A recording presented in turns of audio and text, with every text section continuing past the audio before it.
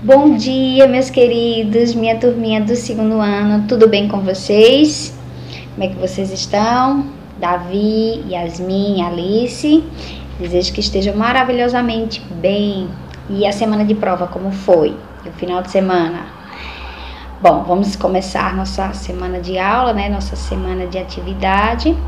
Hoje, nossa aula de ciências, a primeira da semana. Então, como sempre fazemos, vamos agradecer, né? Vamos agradecer a Deus por mais um momento, para que Ele abençoe nossa vida e nossos estudos, certo? Vamos fazer a oração juntos. Vou colocar a oração, um videozinho para que vocês façam a oração, para que a gente agradeça por esse momento, né? Pedindo muita proteção a Ele, tá bom? E a oração já vai começar se chama oração de agradecimento. Senhor, eu lhe agradeço por estar vivo e pelas pessoas que fazem parte da minha vida. Obrigado pela minha família, por meus amigos, por minha saúde. Eu o louvo, Senhor, por tudo, mesmo diante de situações as quais eu não consigo entender direito. Sempre serei grato por Sua bondade.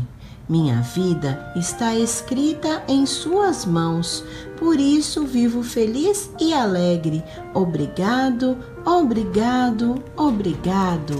Amém. Essa linda oração faz parte do meu livro de orações da Turma da Mônica, do Padre Luiz Erlim e de Maurício de Souza. Deixe seu curtir, se inscreva aqui no canal e até a próxima. Bye bye!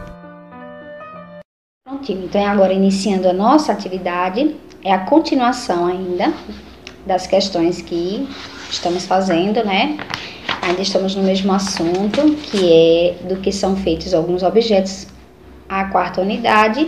Então, as páginas para essa semana será 110 e 111. Na página 110, pede para que você numere os televisores a seguir, seguindo a ordem crescendo do ano em que cada uma for desenvolvida. Então, você vai conversar com seus pais, observar, né? É, qual é dessas aí que é mais antiga? A primeira, a segunda e a terceira. Você vai colocar na ordem, um, dois e três, certo?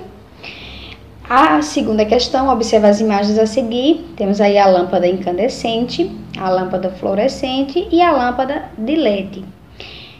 Observando elas, vocês irão responder. As incandescentes, os materiais que são feitos, os principais materiais presentes nessas lâmpadas, de vidro, madeira, plástico metal. E assim você vai observando na fluorescente e na LED também, tá bom? E a letra B é uma pesquisa. Vocês vão, irão fazer uma pesquisa é, para entender por que, que as lâmpadas incandescentes foram substituídas pelas fluorescentes, certo? Aquela mais amarelinha e agora a gente tem essa bem clarinha. Por quê? Qual motivo foi é, substituída? Tá bom? Então, essas são as questões da página 110. E agora, na página 111, vocês, no terceiro quesito, vão contornar no diagrama abaixo o nome de quatro objetos. Então, vocês vão pesquisar quatro palavrinhas, são quatro objetos. E esses quatro objetos, depois que você encontrar, você escreve aqui do lado, e você vai dizer, para escrever, os materiais que são é, utilizados para fabricar esses objetos. Então, por exemplo, aqui vocês irão encontrar o pneu. O pneu ele é feito de que matéria? Que material? de borracha, de vidro, de papel, certo? Você vai escrever qual é o tipo de matéria que é feito cada palavrinha que você encontrou no diagrama. Quarto quesito, relacione as letras dos objetos às fotos dos novos objetos confeccionados com os materiais reutilizados.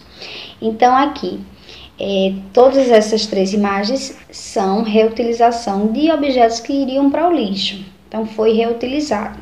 Na letra A, o pote de vidro usado para armazenar maionese. Está falando de qual dessas imagens? Aí você vai ver onde é que está um potinho de maionese e vai colocar a letrinha no quadradinho referente a ela.